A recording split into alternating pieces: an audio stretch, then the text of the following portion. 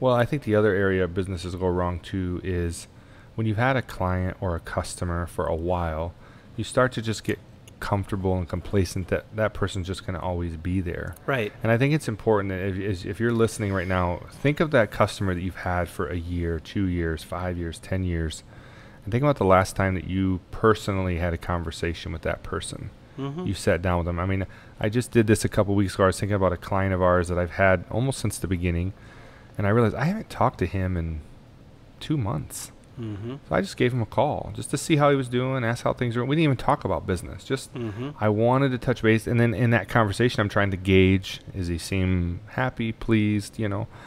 And I think that you can't get comfortable or complacent because there's always someone out there trying to take your customers from you. Without someone hungrier, someone younger, someone with more energy, somebody with a shinier, whatever. And so you have to not, you have to avoid that complacency.